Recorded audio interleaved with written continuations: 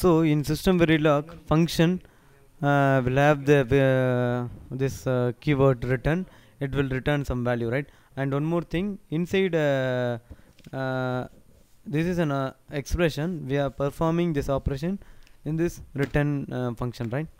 Return as a priority over returning the value in the function name. Getting this one? Return as priority over returning the value in the function name.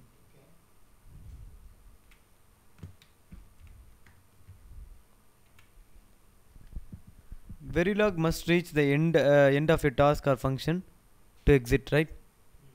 But uh, what if you want to exit before? Uh, suppose inside a function we are having uh, five lines uh, in the while if I am reaching a particular condition in the second line I want to exit out of exit from that uh, function or task. So what we'll do? Yeah use verilog conditional uh, statements. A task is forced to jump to its end. Next verilog passes argument va- argument values by position right? For example here we are having one function having the name of uh, divide. Here we are passing input numerator output is denominator okay. So inside the function we are uh, simply checking right? If else condition denominator is equal to 0 then dollar display is equal to error we are displaying and then numerator is divided by denominator. That's okay. Now uh, here what's happening actually? We are passing the numerator. Passes argument values by position. Both are inputs, huh? which one? Numerator and denominator. Yeah both are uh, inputs.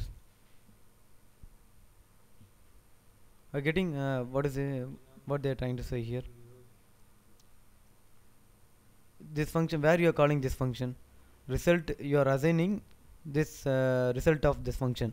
So here you are calling. Result is equal to divide a b comma a right? So here you are passing the value actually right? So b value corresponds to the first position whatever the things we are sorry yeah mentioned here it will corresponds this b and this a corresponds this one. So this is what they are trying to say here.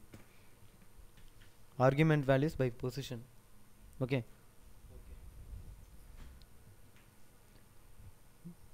System verilog can pass argument values by name. In verilog we have to pass by uh, position. But here it is possible to pass by name also. Uh, like uh, module port connection by name by order. In verilog how you will connect the ports? We are having two types. First uh, uh, we can either connect by using the position of the ports or by using the uh, name. Uh, same like uh, uh, that. Here also we are in having that same concept. Divide dot denominator is equal to b. Dot numerator is equal to c. so now we are passing the values with respect to name. So named argument pass you. Sorry named argument argument uh, passing can reduce errors. Because if you are a, if you are having very big list okay. Suppose you are having more than 10 uh, 10 parameters 10 arguments here. In that case you should remember that order right? If you are using passing by order. So if you are going with this uh, name uh, passing by name means you can reduce errors uh, in this okay. So we know that uh, if you want to use a combo logic if you want to infer your intention is to infer a combo logic you have to use combo always underscore combo right? And uh, then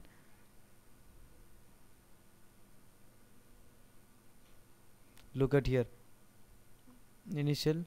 For this uh, for this uh, block we are writing the test bench here. Okay. So now what is the logic uh, why if mode is set to uh, 0 then uh, addition. If mode is set to um, 1 then it set uh, it will do the subtraction operator right? Okay now that mode and a plus b these are all the inputs. Mode a b all are inputs. And output is y okay? So now we are forcing those inputs from here. Okay so what's happening here? Uh, in always block you are using uh, after every 30 30 time units mode is inverted to Not yeah not of mode. So 0 1 0 1 it will create like a clock. Okay at the uh, 60 60th time unit it will finish. Yeah. So we are will have only one clock like this. One high one low right? Because this is having the width of 30 30 plus 30 and what we are doing here for, for after 5 you are uh, forcing 1 a is equal to 1 after uh, 10 you are forcing b is equal to 0 like that okay? And these are all related to uh, dump files. Now we'll compile and uh, execute this thing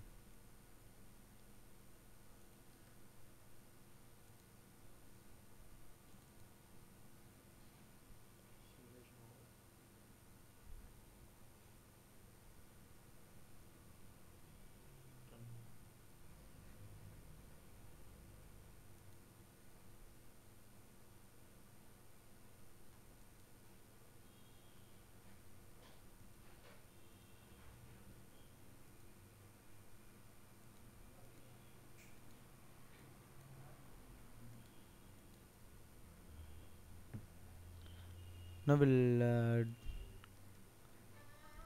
compile it once again.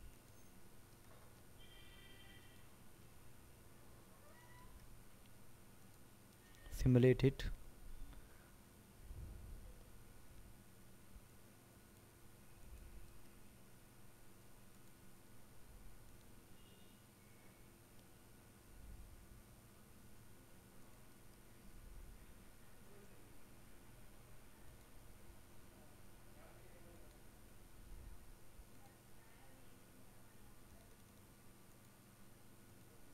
what uh,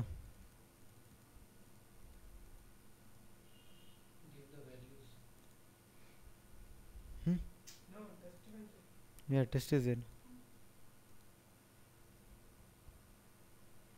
Here we are having test bench right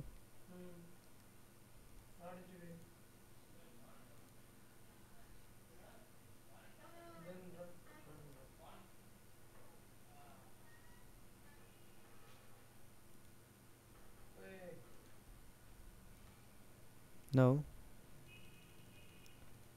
uh, look at here.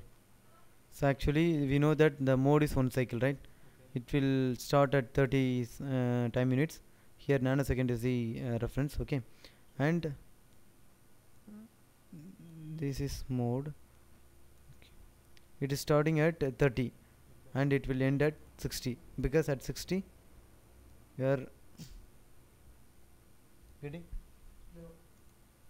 here, look at here where mode is initialized to 0 initially it is initialized to 0 okay? After 30 it will be inverted okay? So what is the value? 1 okay? So up to from 30 to 60 it will be 1 once it reached uh, 60 it will Terminate. yeah it will terminate. That's why it asked whether to finish it or not right? Now look at here. So mode is 0 up to 30 30 Reset to and uh, after that up to 60 it will be there as a 0 sorry as a 1 and now you are forcing a is equal to 1 1 and b is equal to 0 b is equal to 0 so if mode is 0 what should happen? If mode is 0 mode is 0 what condition? Addition should happen.